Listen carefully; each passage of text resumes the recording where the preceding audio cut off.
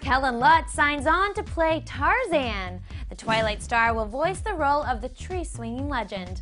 Now, unfortunately, we won't get to see Kellan going shirtless as the new rendition of the classic tale is a fully animated motion capture CGI film.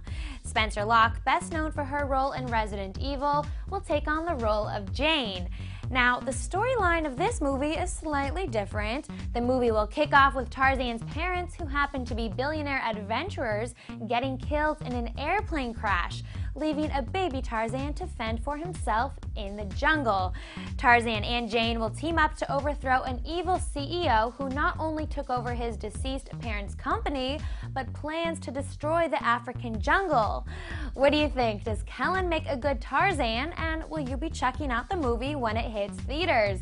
Let me know your thoughts in the comment section below and make sure you click subscribe for all the latest entertainment news. I'm Katie Kraus in Hollywood and thanks for watching.